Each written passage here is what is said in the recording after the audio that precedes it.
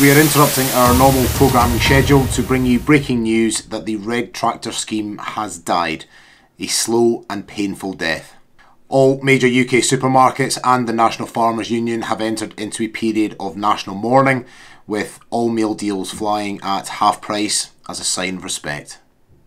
I've just made that bit up, but following the recent episode of drama, I think it might just turn into reality.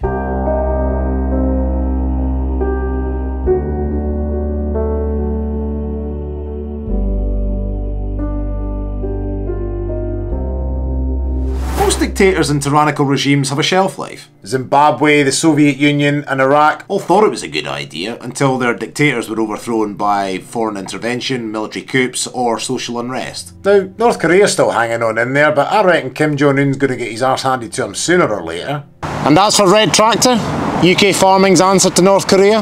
Then I'm going to give them five years, and here's why. The late 90s and early 2000s were a difficult time for British farming.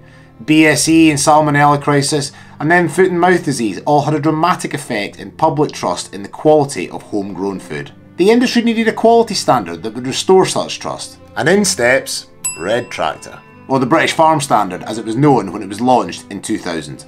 At the start, the intentions were good.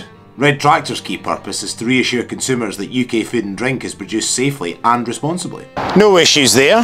So where do I sign up? But like all dictatorships, things evolve and change. People start to do stupid shit.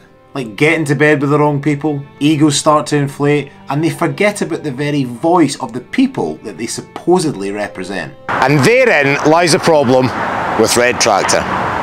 What started out as a simplistic organisation and mission has turned into a bureaucratic nightmare for the farmers it was designed to serve. Increasing costs and mountains of paperwork for very little return have led many farmers to question whether it's worth continuing. The onus of producing food to the highest of standards isn't translating into a premium price in the supermarkets, whilst at the same time the supermarkets are lured into importing cheaper, lower quality produce from overseas.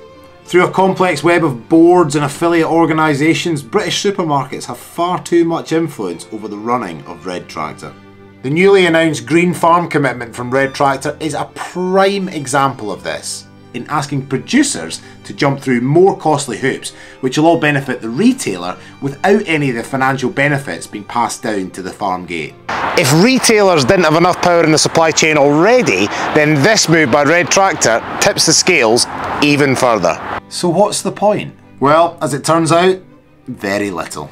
Fundamentally, Red Tractor have lost the trust of British farmers. Rather than working with the producers, Red Tractor have chosen to get into bed with the big retailers, allowing their power and influence to spread even further. And you can only shit on people for so long before they start getting very pissed off. And whilst I don't think we're going to see a military coup, a social uprising could very well be on the cards. Now the concept of red tractor is actually really quite good, but the reality is something very different. There needs to be a seismic shift away from retailer influence and back to the original purpose of supporting British farmers and the quality of British produce. The structure needs a complete overhaul to make it much more simplistic and actually deliver real value for farmers and producers.